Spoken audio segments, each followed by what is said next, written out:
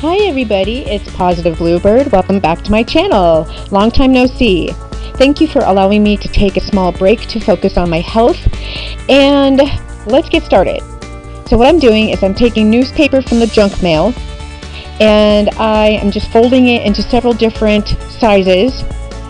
And then at the end of the video you'll see that I'm using a chopstick as my tool to roll the paper, glue, roll some more, and they're basically hardened newspaper beads, if you will.